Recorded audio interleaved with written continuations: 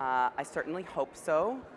10 years is a very long time in internet years, so I think it's inevitable that we'll see some principles, and there already are principles that are somewhat generally accepted in certain fields. And I, so I think it's, it's the same as sort of your first question, right? Depends on who you ask. Coming from companies, uh, you know, we're seeing more and more groups like the Global Network Initiative. Of course, people are coming to events like IGF. So I think there are some standards being developed. I don't think they will ever necessarily be universal, though.